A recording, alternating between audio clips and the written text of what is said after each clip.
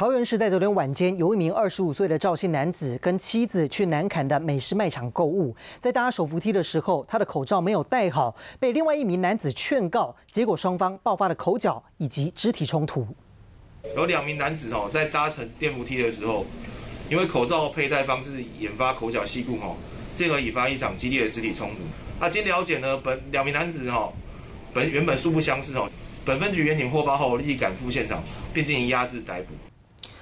原来在冲突的过程当中，赵姓男子宣称自己不满被打，一气之下拿出万用瑞士刀挥舞，划伤对方的脸部，当场血流如注。目击者赶快报警，警方到场立刻将拿刀伤人的赵姓男子压制逮捕。他一度辩称自己是正当防卫，最后还是被依伤害罪嫌移送侦办。至于受伤的男子，送医治疗之后已经没有大碍。